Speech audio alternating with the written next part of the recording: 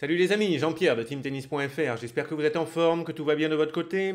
On se retrouve dans cette vidéo pour faire une petite comparaison entre trois raquettes. On va comparer la Wilson Blade 98 en plan de cordage 16 par 19 V8, la Head Prestige MPL de 2023 et la Dunlop SX 300 Tour de 2022. Allez, c'est parti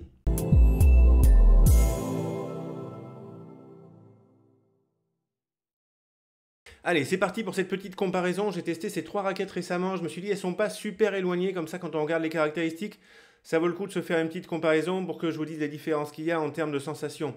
J'ai toujours la Wilson Blade 98 16 par 19 V8 ici, ainsi que la Head Prestige MPL de 2023. Et je n'ai plus la Dunlop SX 300 Tour que j'ai renvoyée à mon partenaire Tennis Warehouse Europe. Et d'ailleurs, au passage, pour vos achats de matériel de tennis, je vous invite à aller sur le site Tennis Warehouse Europe avec lequel je suis partenaire. Et c'est super sympa. Si pour faire un achat sur ce site, vous cliquez sur mon lien affilié, ça vous coûte rien de plus. Ça indique juste que vous venez de ma part et ça m'aide à continuer les vidéos que je fais sur YouTube. Donc la Dunlop, c'est la plus puissante, malgré, si on peut dire, son tamis qui est plus petit que celui de la Prestige.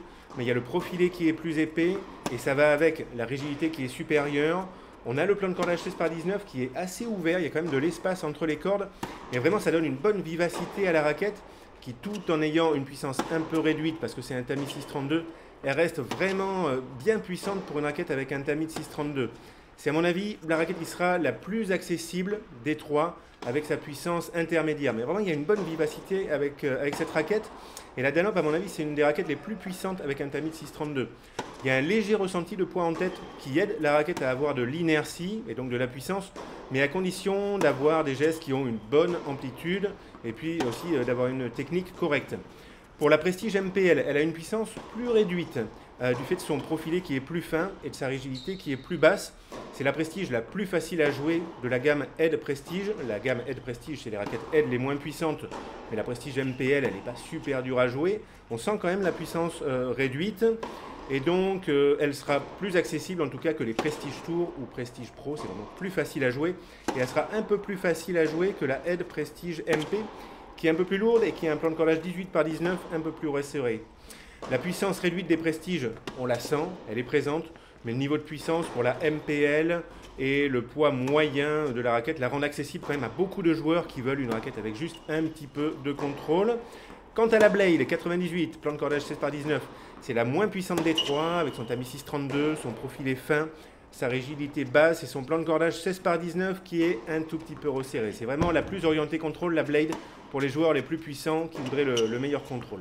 Donc la Dunlop SX300, elle fait partie de la gamme euh, Dunlop SX, les raquettes Dunlop qui sont orientées lift.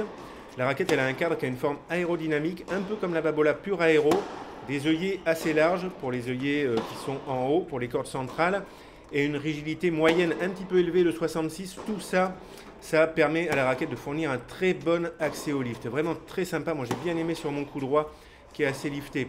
Je mettais du lift en fait sans le, sans le vouloir avec la Dunlop.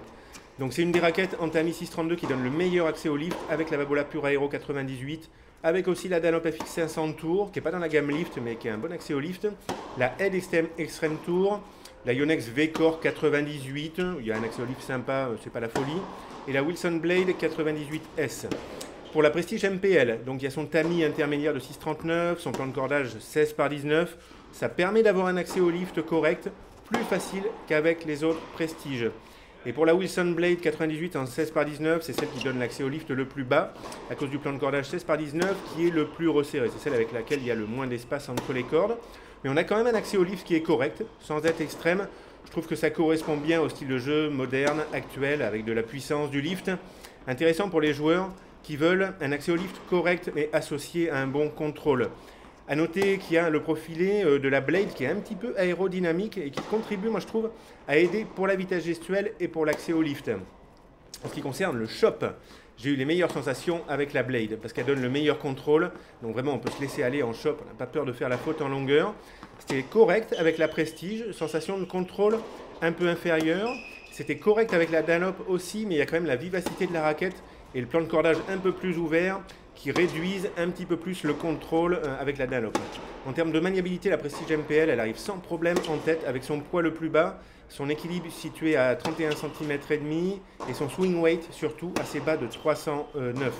J'ai trouvé la raquette vraiment particulièrement légère en tête, ça la rend super maniable. et ça facilite la vitesse gestuelle. Moi, je l'ai quand même trouvé vraiment ultra légère en tête et je me suis dit, je vais rajouter un petit peu de plomb euh, à hauteur de la zone de frappe. J'ai mis 4 grammes pour remonter l'équilibre à 32 cm raquette non cordée, ce qui m'a permis d'avoir une meilleure sensation de stabilité, de poids dans la tête de raquette pour avoir de l'inertie sans me gêner pour la maniabilité. Donc on peut la customiser comme ça pour remonter un petit peu euh, l'équilibre vers le haut, avoir plus de stabilité. Ça dépend du feeling, en tout cas raquette ultra maniable à la base. J'ai trouvé la Blade et la Dunlop assez proches en termes de maniabilité, malgré leur point d'équilibre qui est un petit peu différent, ça se compense avec le swing weight. Je trouvais que c'était à peu près pareil. La Blade, elle est équilibrée plus en tête, mais le swing weight, il est plus bas, son profilé, il est plus fin que la Dunlop. Finalement, ça s'équilibre au niveau des sensations. Et le profilé plus fin et légèrement aérodynamique de la Blade, peut-être que ça lui donne un petit avantage, mais c'est quand même relativement proche.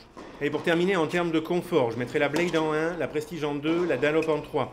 Ce sont trois raquettes qui sont vraiment très satisfaisantes en ce qui concerne le confort. Moi, j'ai pris beaucoup de plaisir à jouer avec ces trois raquettes et à titre perso, je pourrais les utiliser. Et pour le confort, vraiment, s'il faut choisir, je mettrai la Blade en 1 parce que j'adore les sensations de jeu avec cette raquette. Je trouve qu'il y a peu de vibrations et il y a une sensation que je trouve assez nette à l'impact avec des frappes assez propres. Donc vraiment en termes de confort, de sensation, c'est la Blade que je préfère. La Prestige, elle est bien également, avec une sensation un tout petit peu moins nette à l'impact qui peut peut-être être lié au tamis qui est un petit peu plus grand. Souvent, j'ai l'impression quand je joue avec des petits tamis et que je centre bien la balle, vraiment, ça donne une sensation particulière qui est vraiment sympa à l'impact. Mais en contrepartie, il faut avoir un bon centrage de balle. Euh, sinon, la Dunlop, je la mettrai en dernier parce que j'ai une petite sensation de vibration euh, avec cette raquette, mais bon, les sensations restent quand même très bonnes. Je trouvais que ça vibrait un tout petit peu plus que les deux autres. Pour la tolérance, je mettrai la Dunlop et la Head à peu près au même niveau et la blade un petit peu après, parce que le tamis est plus petit, je trouve, avec une plan de cordage un peu plus resserré. Il faut être plus précis en termes de centrage de balle avec la blade. Allez, pour conclure, on se fait un petit bilan sur ces trois raquettes. Je commence avec la Dunlop SX 300 tours, la plus puissante, la plus orientée lift. Donc c'est la moins puissante, c'est la plus lourde de la gamme Dunlop SX, les raquettes Dunlop orientées lift, mais elle garde vraiment une puissance très correcte pour une raquette avec un tamis 632. Pour des joueurs fin de quatrième série, mais plutôt troisième série, seconde série, qui peuvent jouer avec un poids de 305 grammes non cordé, faire attention à ça. Style de jeu puissant, lifté, on est tout à fait dans l'idée de cette raquette, mais aussi semi-puissant, peu lifté. Dans ce cas-là, on bénéficie simplement du côté un petit peu puissant de cette raquette. Pour les joueurs qui veulent une raquette avec un tamis de 632 cm qui donne une sensation de contrôle mais aussi vraiment une bonne vivacité, une des raquettes en 632 les plus puissantes avec un super accès au lift, maniabilité neutre et très bon niveau de confort. Ensuite, Aide Prestige MPL, puissance intermédiaire, accès au lift intermédiaire pour des joueurs fin de quatrième série jusqu'à début de seconde série, des joueurs qui sont légèrement puissants, qui veulent du contrôle, on sent qu'il y a une puissance réduite, mais en même temps, il y a quand même un, niveau de puissance qui est relativement correct. C'est pas une planche, c'est pas la raquette la plus difficile à jouer des prestiges. Donc pour les joueurs qui veulent une raquette avec une puissance un petit peu réduite, mais tout en gardant une taille de tamis pas trop petite, euh, joueurs avec un style de jeu semi-puissant, un peu lifté, ou alors à plat en shop. Des joueurs qui recherchent une raquette de 300 grammes très très maniable. La raquette est super légère en tête, ça peut se customiser avec un niveau de lift correct des joueurs qui veulent un niveau de confort très sympa, et des joueurs qui aiment les sensations des heads prestige, mais qui veulent la raquette la plus facile à jouer de cette gamme. Et je termine avec la Wilson Blade 98 16 par 19 version 8, la plus exigeante, la moins puissante, celle qui va donner l'accès au lift le plus bas. Pour des joueurs, je dirais troisième série, seconde série, plutôt puissant, style de jeu moderne, puissant, lifté, pas ultra lifté, ou semi-puissant, à plat, en shop, ça passe aussi des joueurs qui veulent vraiment un bon niveau de contrôle. La gamme Blade chez Wilson, c'est une gamme qui est orientée contrôle.